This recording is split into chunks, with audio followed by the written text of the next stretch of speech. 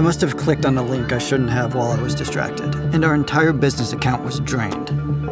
I spoke to Nora from Travelers, and she worked with a rapid response team. Yeah, we need to do this now. She explained that the first 48 hours are absolutely critical. I understand it's a weekend, but we gotta get him on the phone. 10 years of building our contracting company. A loss this big could have ended our business. I was panicking. But Nora did something that I never would have thought of. Agent Lee. She called our contact at the Secret Service. Okay, so what do we have? Yeah, so get this. All of the money's in a holding account. We got all of it. Hold on one second. I got some news for you. We got it. All of it? All of it. Thank you. Thank you. Thank you so much. Thank you so much.